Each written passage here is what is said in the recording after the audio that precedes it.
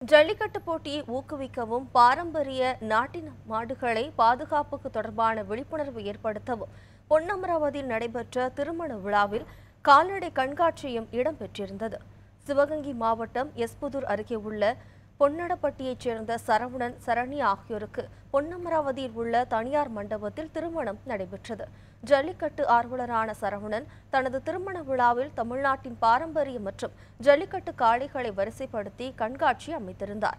இதில் நாட்டு மாடு மற்றும் காங்கேயம் உள்ளிட்ட வகைகளைச் சேர்ந்த காளைகள் மற்றும் கிடாய்கள் காட்சிப்படுத்தப்பட்டிருந்தன.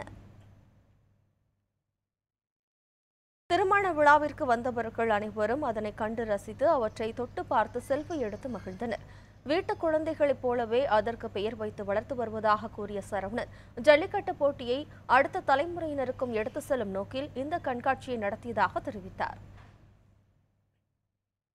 இந்த ஜல்லிக்கட்டுங்கிற போராட்டத்தில் வந்துட்டு நிறைய பேர் அந்த நிப்பாட்டுங்கிறதுக்கு எவ்வளவோ ட்ரை பண்ணிட்டு இருக்காங்க.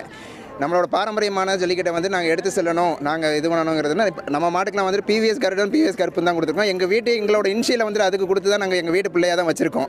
அதனால் வந்துட்டு நாங்கள் வந்துட்டு வெளியே கொண்டு வரணுங்கிறதுக்காக வெளியே வெளியே இருந்து- முத கொண்டு நாங்கள் மாடுகளை வச்சு கண்காட்சி நடத்தி வரவங்க வந்துட்டு அதை பார்த்து இவ்வளோ தூரம் நாங்கள் வந்து எங்கள் வீட்டு பிள்ளைகள மாதிரி அதை வளர்த்துட்ருக்கோம் அதை வந்துட்டு யாருமே அழிக்கிறதுக்கு நினைக்கக்கூடாதுங்கிற ஒரு இதை வந்துட்டு ஊக்கப்படுத்துங்கிறதுக்காக வந்துட்டு எங்கள் வீட்டில் வந்துட்டு எங்கள் திருமணத்தில் வந்துட்டு ஜல்லிக்கட்டு ஏற்பாடுகளும் நடத்துகிறோம்